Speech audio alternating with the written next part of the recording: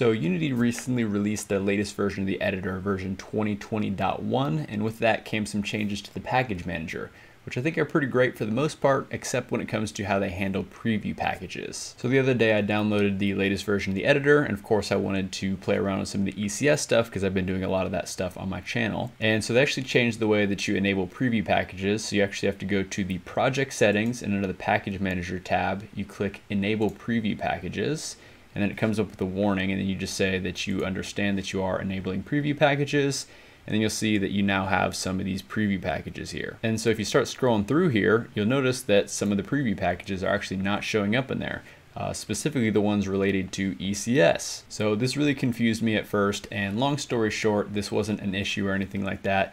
But Unity is intentionally hiding away some of the preview packages that they consider more on the experimental side, and the dots and ECS stuff definitely fall on that experimental side of things. Now, luckily, you can still add these packages manually, so today I'm going to be showing you two different ways that you can do that.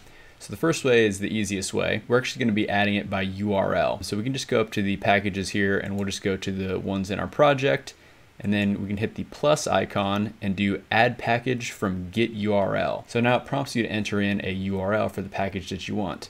So to get that URL, there's actually a little shortcut here.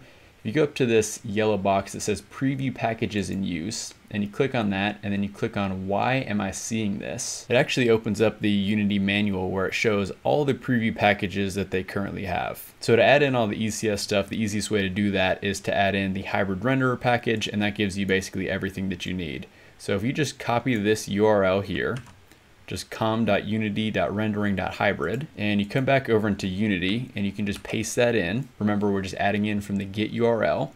Uh, you click the add icon and then after a short little bit, you may need to be patient. Uh, you'll start seeing some progress bars here just to let you know that all the packages are importing. So we'll let that do its thing. All right, so now you'll see that the hybrid renderer package is now installed in our project.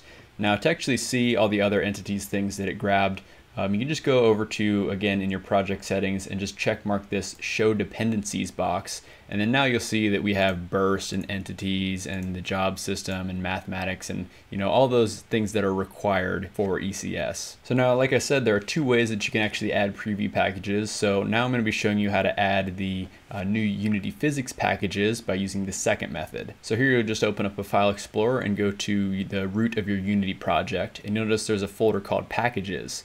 If you double click on that, you'll see that there's this manifest.json file. So now we can edit this with pretty much any text editor. I like Notepad++.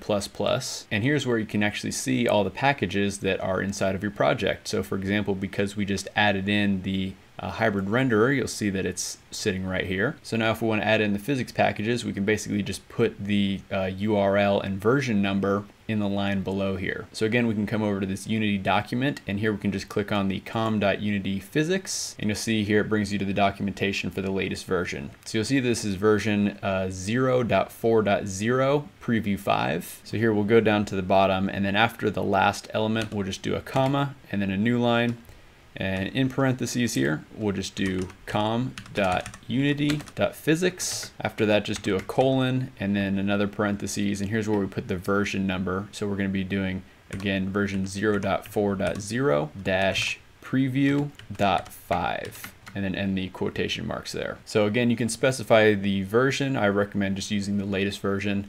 Um, so once you save this file, and then come back to Unity, you'll see that right away it says resolving packages and here's where we're, at, we're actually going to import all the physics packages into our project. So once that finishes, then we can scroll down to the bottom and you'll see that we now have the Unity Physics version 0.4.0 preview 5. And so now that you have the Unity ECS packages installed in your project, you can go start learning some ECS. If you do need any help with that, you can check out some of the other videos on my channel. I'll leave a link to a playlist right up here to help you get up and running with some of the ECS stuff. Anyways, I hope you did find today's video helpful and you learned a thing or two. If you did, make sure you hit that like button. Also feel free to subscribe to the channel for lots more videos on new features in Unity, like the entity component system. Of course, if you do have any further questions for me or suggestions for future videos, you can always leave those down in the comment section below. But I hope you have a fantastic rest of your day, and I'll see you in the next one.